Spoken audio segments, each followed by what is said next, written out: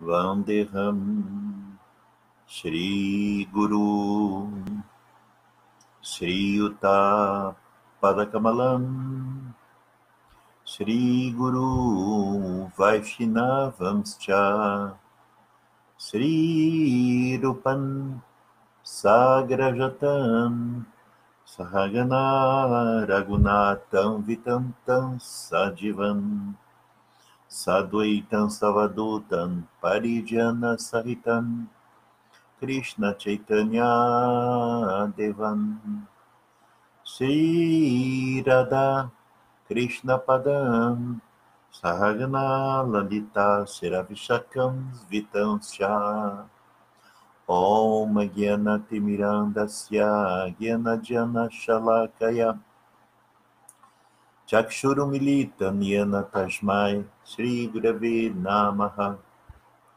Guru Vabhishta Supurakan Guru Ganaira Shisha Sambhushitam Chintya Tintya Samasaveda Nipunam Shri Rupa Pantanugam.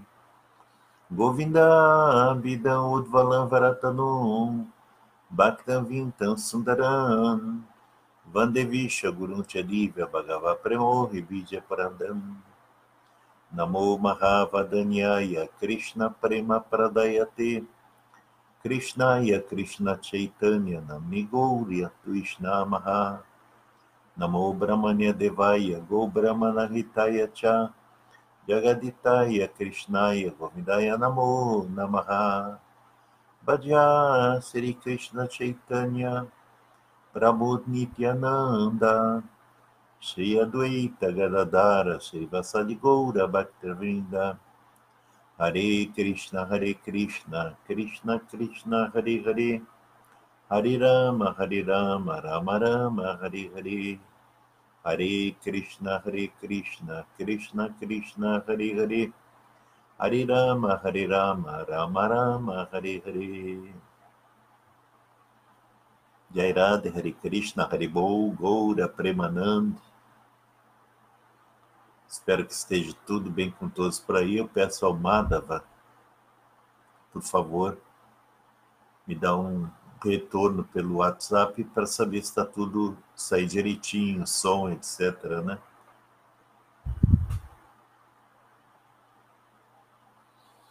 Tá bom? Tomando um chazinho.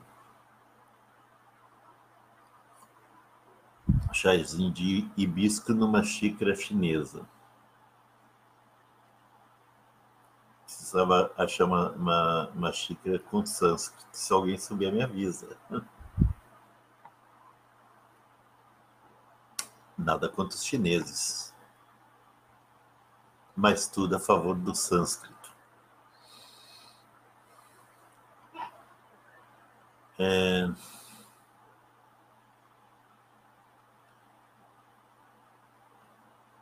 Primeiramente, já vou agradecendo que já estão presentes na, na aula do dia de hoje. Está chegando o aviso do Madva, provavelmente. Está tudo certo. Obrigado, Madva. Então, consciente, deixa eu baixar agora um pouquinho o volume. Consciente de que está tudo saindo direitinho, certinho, né? Vamos à nossa aula de hoje. Primeiramente, antes que eu esqueça, eu quero passar alguns avisos que às vezes eu me esqueço de falar. Que todos, para aqueles que moram em Porto Alegre, Viamão, Canoas, São Leopoldo, Novo Hamburgo e arredores de Porto Alegre, todos os sábados, sem exceção, às 10 horas da manhã, temos encontro presencial aqui comigo. Aqueles que estiverem vendo agora ou depois passar essa, essa, esse vídeo e se interessar em assistir as aulas presenciais, é só me pedir aí o endereço é, aí no Messenger né, do, do Facebook. Mandar uma mensagem aí para mim que eu, que eu passo o endereço. Tá bom?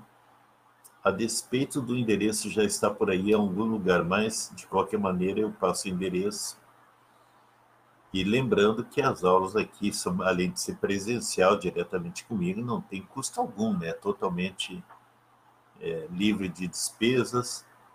Sempre tem uma prachada, uma alimentação que foi oferecida com amor e devoção a Krishna. Né? Não, é, não é uma atividade de templo, né? mas é uma atividade aqui no meu Bhajana Kutir. Bhajana Kutir, para quem não sabe, é o local onde mora os, uma pessoa que está solitária, né? Um guru, um sannyasi.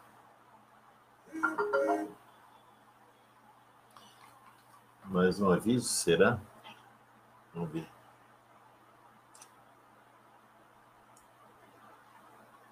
Não. Deixa eu baixar o volume aqui, senão esses, esses, esses, essas modernidades incomodam às vezes, né? Eles ajudam, mas também incomodam. Estamos preparando uh, aqui presencial também e pela internet também o curso de terapias ayurvédicas e, e curso de, é, de astro, astrologia ayurvédica conjugados. Terapias e astrologia, porque a astrologia é muito importante na, na é, nas terapias ayurvédicas, porque pelo mapa védico se pode é, notar muita coisa, doenças crônicas, doenças que surgem inesperadamente, né? E aí pela, pelo, pelo mapa astral védico é possível de verificar o que, que está acontecendo e quem está causando isso aí, né? O nosso karma. Chazinho de, de hibisco. E o terceiro e último aviso, aquele, aquelas pessoas é, que eventualmente, da volta aqui também de Porto Alegre, Grande Porto Alegre e arredores, eventualmente eh, desejam conversar comigo, isso geralmente acontece, eu também recebo as pessoas desde que é agendado, porque às vezes alguém vem diretamente aqui pode não me encontrar ou me encontrar totalmente envolvido em algum, algum alguma atividade que eu não posso atender. Às vezes estou gravando vídeo, outras vezes estou preparando material escrito que eu coloco aí na, nas redes sociais, né? Então, eu não gosto de. Ninguém gosta, né? Quando está fazendo um trabalho envolvido fortemente nele, de repente apita a campainha uma visita inesperada. Então não há problema nenhum, eu recebo todas as pessoas de coração, se precisar, uma, ou uma orientação, está passando por um problema, ou, quer uma, ou tem uma dúvida filosófica, é, sinto-se à vontade para conversar diretamente comigo. Aqueles de longe pode fazê-lo através do WhatsApp, também é só marcar comigo. Tá bom? Às vezes a pessoa quer conversar. WhatsApp não, perdão. Não falo pelo WhatsApp. Através do Skype. Tem que ser pelo Skype.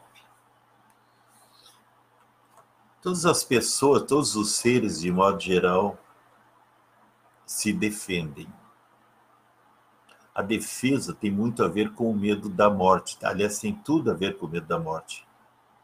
Ninguém quer morrer. As pessoas, de modo geral, não só as pessoas, mas todas as divas, de modo geral, em geral, estão apegadas, muito apegadas aqui à plataforma material e gostam de estar curtindo a vida por aqui.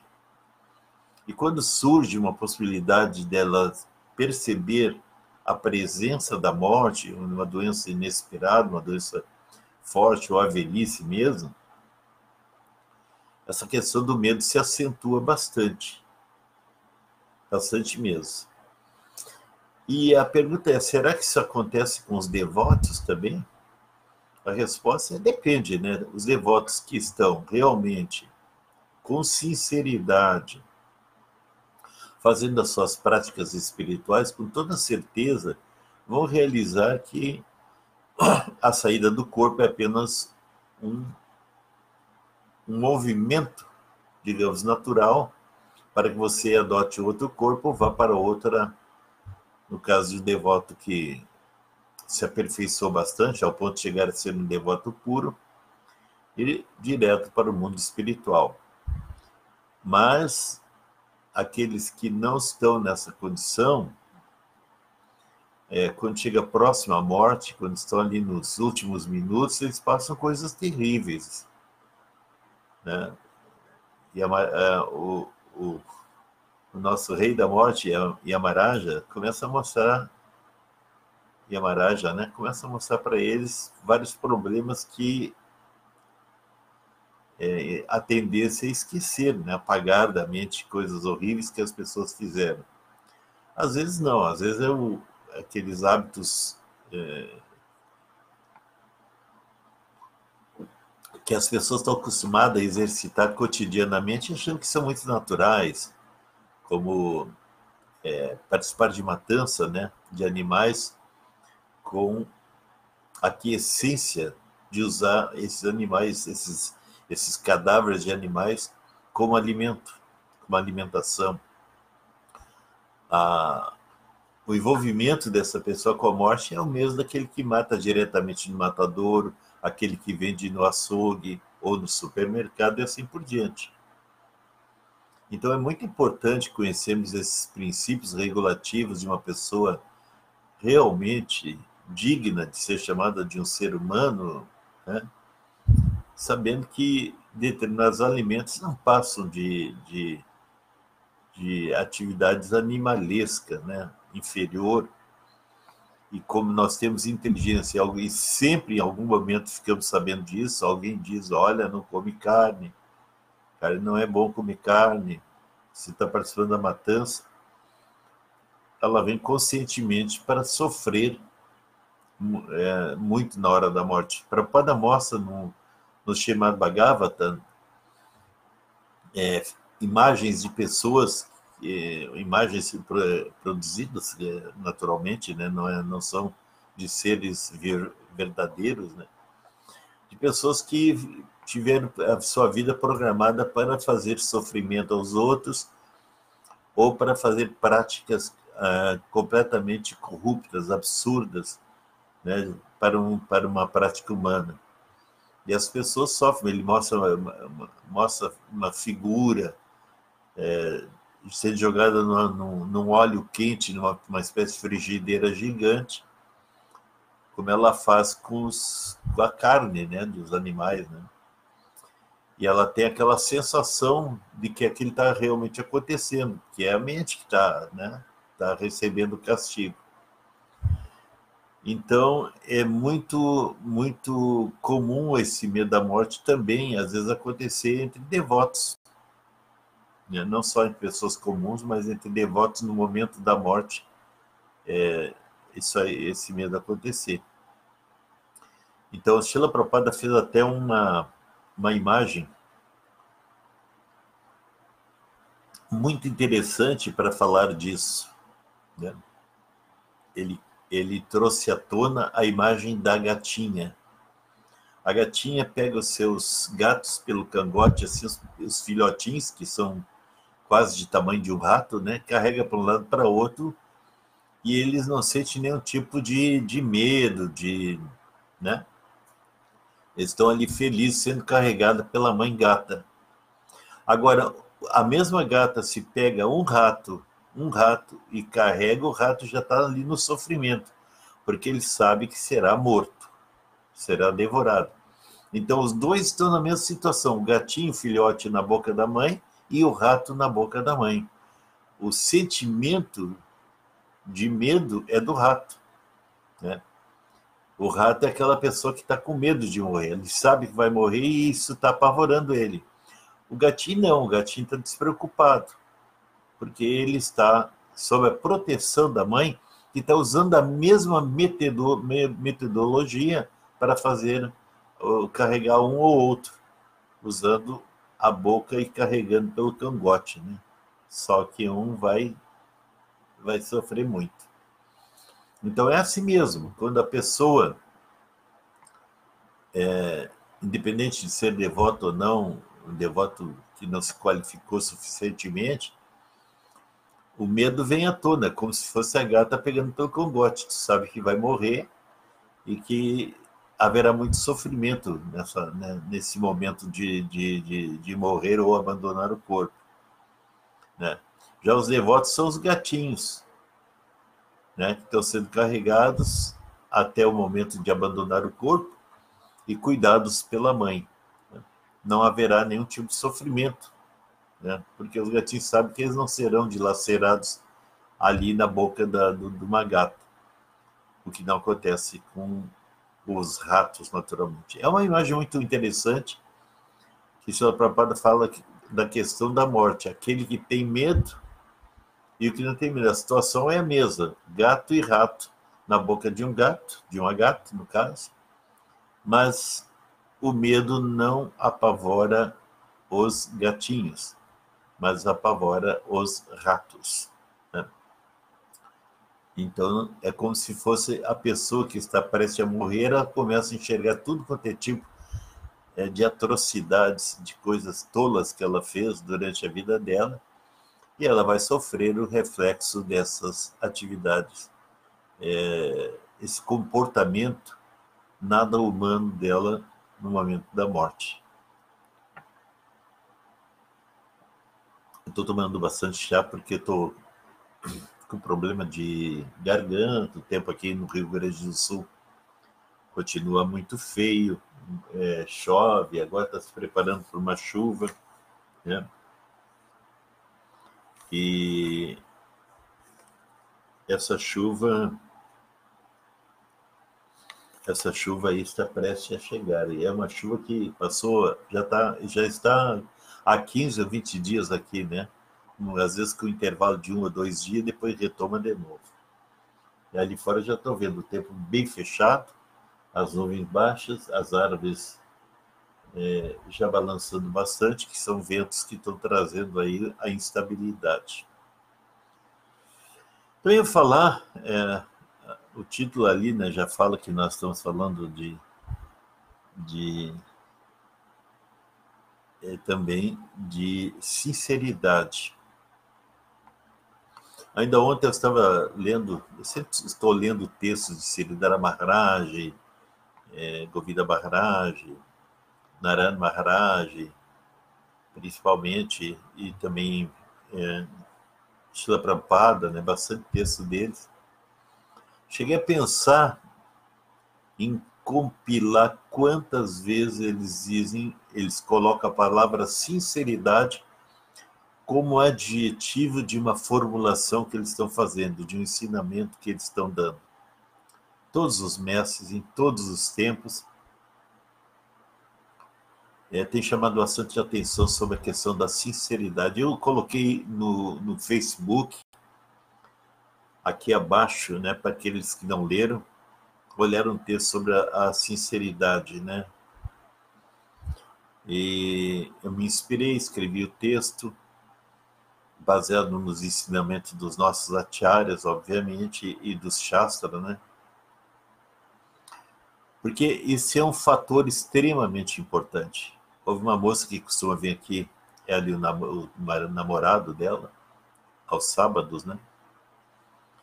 Ela, fica, ela é novata, na, ela é nova, ela está começando em consciência de Cristo, queria saber o que, que é a sinceridade, como é que ela pratica a sinceridade.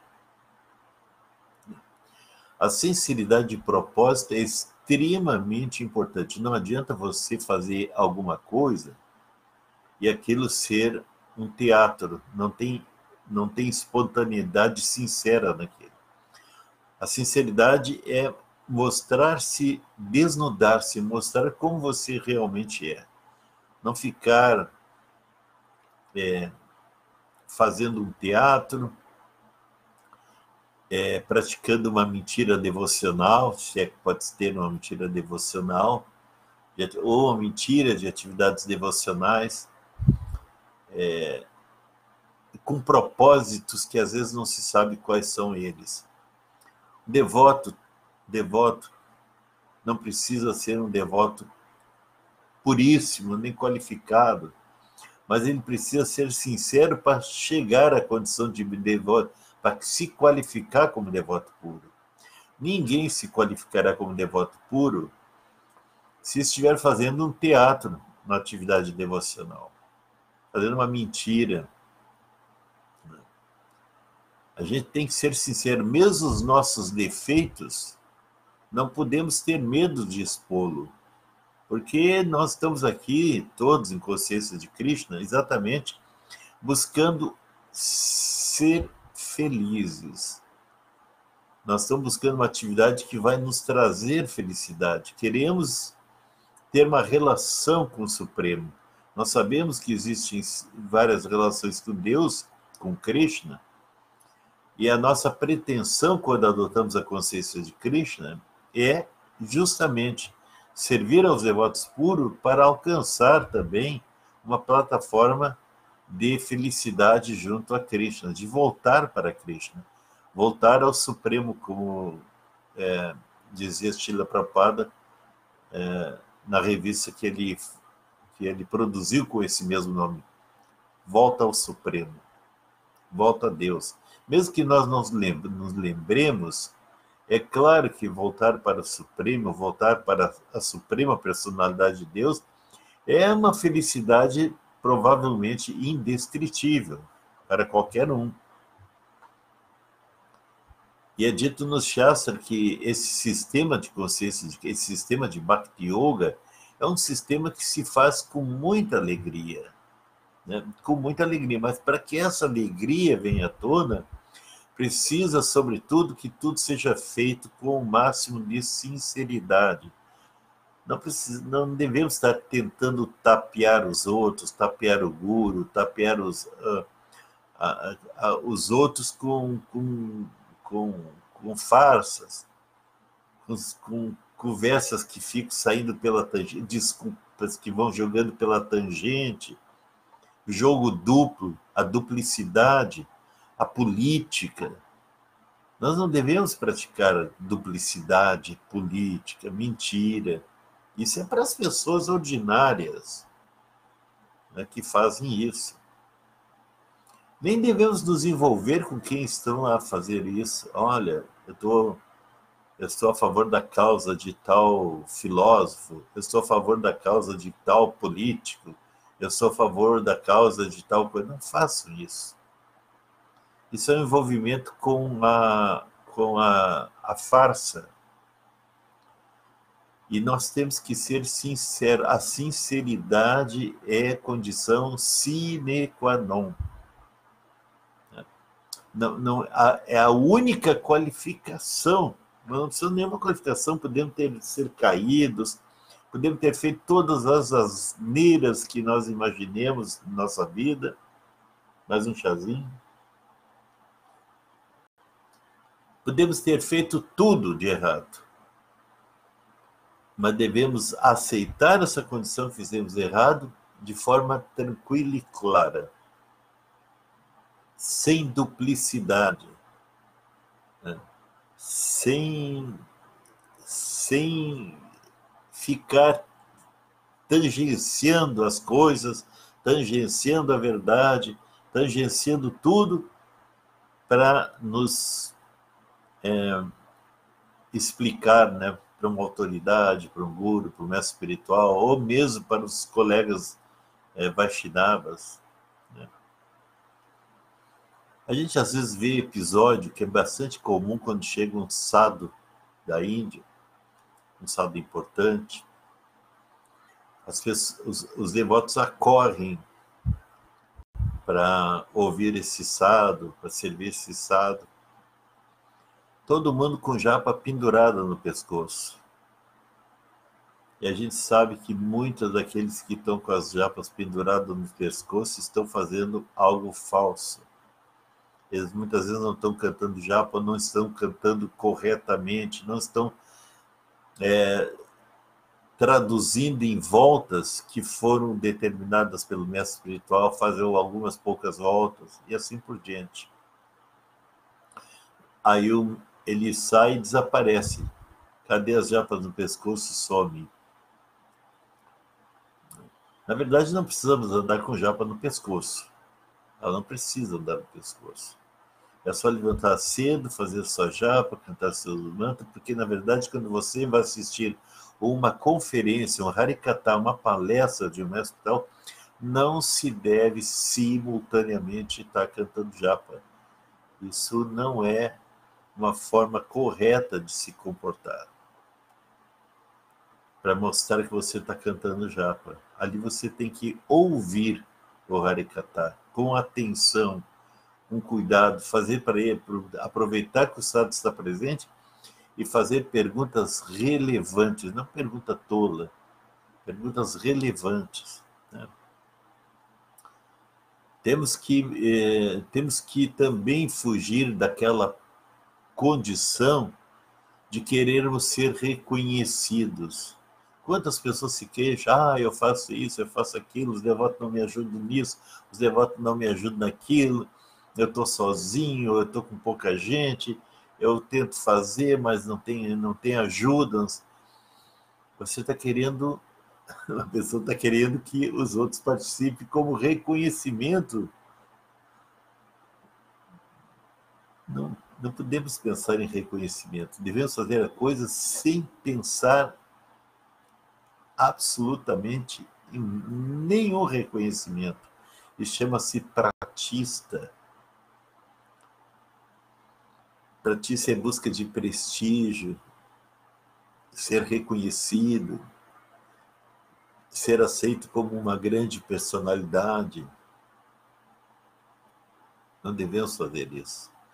Devemos ser tão humilde quanto um seixo. É difícil? Muito difícil. É impossível? Não é impossível. Agora, devemos ser sinceros: se não conseguimos ser humildes como seixo, não devemos sair aí fazendo demonstração de humildade que não temos. A humildade é também um ato de sinceridade. Tem que ser sincero em todos os sentimentos: sentimento de amor, de humildade, de gratidão, enfim, tudo tem que ser sentimento. Não pode ser palavra vazia tem que ser aquilo, tem que ser o que se passa mesmo dentro do coração. Aí nós seremos felizes. Aí faremos a, a, a consciência de Krishna com muita alegria mesmo. Com muita alegria. Né? Então temos que ser humildes, temos que ser tolerantes. Se você encontra pessoas na sua volta que você acha que não está praticando como você, ou que não está lhe ajudando como você gostaria que, ajudasse, ou que de alguma forma é, está é, causando algum prejuízo para você ou para um, um grupo, devemos tolerar. Isso é um ensinamento de Mahaprabhu. Devemos, devemos ser bastante tolerantes, como se fôssemos uma árvore. Ele dá a ideia da árvore, que a árvore tolera que se arranque as flores, arranque os frutos, decepe os galhos. Temos que tolerar tudo que está a nossa volta. Tolerar não é confrontar, brigar, é tolerar. Respeitar todos os seres, todos os seres, independente da, da condição que ele está, mas de acordo com sua posição. Todos têm que ser respeitados. Lembre-se que Krishna está no coração de todos. Temos que respeitar todos, sem nenhuma diferenciação no nosso sentimento de respeito, sim na forma de procedimento. É claro que você não vai é, cumprimentar ou, ou, ou saudar uma pessoa santa como saúda uma pessoa que está chegando, que não conhece nada, que, é um, que ainda é um, é um neófito. Né? Ele tem que ser respeitado, mas de forma diferente. Você não vai saltar nos pés dessa pessoa e prestar, dando a paranãs para ele. Né? Não faz sentido. Então, se você ser tão humilde quanto um, uma palha na rua, uma grama, tolerante como uma árvore, respeitoso com todos, você se qualifica para fazer o nosso principal sadhana, que é cantar os santos nomes. Você tem que cantar os santos nomes com essas qualificações mínimas. E fazer todas essas qualificações para fazer a prática desses ensinamentos de Mahaprabhu é, com é, sinceridade, com sinceridade de propósito. A sinceridade é o ponto mais importante de tudo. Se você for sincero, você não precisa ser perfeito. O perfeito e sincero não tem valor algum. Aquele que está fazendo um teatro não tem valor. Você tem que ser sincero, tem que mostrar sinceridade no seu coração. Tem que buscar a humildade de forma sincera. Você não, ninguém é humilde, pum, é só humilde a partir de hoje mas você, com sinceridade, você pode ir aos poucos reformulando suas má qualidades. E o ponto principal para que isso aconteça é o cantar dos santos nomes. Cantar dos santos nomes sem nenhum tipo de ofensa, sem ofender nenhum devoto, sem ofender nenhuma pessoa, sem ofensas. Se você canta o Mahamantra e fica falando mal de um e de outro, você está cometendo a primeira ofensa, ofensa número um. Né? Não é da nossa competência apontar defeito nos outros. As, eu, eu, eu, já falei aqui, ou na aula presencial, não lembro, mas talvez nos dois, é, que é, devemos sempre é, praticar a consciência de Krishna, é, sem, primeiro sem ofender ninguém e com muita sinceridade. E usar as regras que nós vamos conhecendo ao longo do caminho, as regras, regulações, os ensinamentos do mestre espiritual, para nos corrigir, para melhorar a nossa qualificação como seres humanos. Não devemos usar jamais as regras como parâmetro de julgamento. Nós não devemos jamais julgar qualquer que seja a pessoa. E não devemos usar essas regras. Olha, tem a regra de cantar tantas voltas, ele não está seguindo essa regra tem a regra de não praticar jogos de azar. Aquela pessoa, aquelas pessoas lá não estão seguindo essa regra. Não é para isso que as regras são feitas. As regras são feitas para nos ajudar, para que possamos entender como devemos nos tornar uma pessoa qualificada. E não é parâmetro de julgamento. Não devemos jamais, nunca julgar os outros não é da nossa atribuição fazer julgamentos. Ninguém faz julgamento. O guru não faz julgamentos. Ele pode corrigir. Esse é o único que pode corrigir o seu, o seu discípulo. É o guru. A, a pessoa que está numa plataforma de discípulo sai corrigindo os outros. Tá bom? Pense bastante nisso cante Mahamantra Hare Krishna, se, a, o, o, esse, esse, essa consciência de Krishna traz, produz muita alegria e muita felicidade no coração. Mas devemos ser sinceros, muito sinceros, e nos colocar na nossa posição e não na posição de julgadores, posição de aprendizes. Estamos aprendendo, estamos tentando nos transformar para melhores e não usar o que conhecemos, as regras, regulações, os ensinamentos do Bhagavad Gita, para julgar as outras pessoas. Não devemos fazer isso. Estamos jogando fora a nossa consciência de Krishna, nossa consciência espiritual pura e elevada. Isso tem que ser feito com sinceridade de propósito. Pense nisso. Jairada, Hare Krishna, que todos tenham excelente domingo. Vanchakalpa tarubhyascha kripa sindubhya iva cha patitanam pavanebhyo vaishnavebhyo namo namaha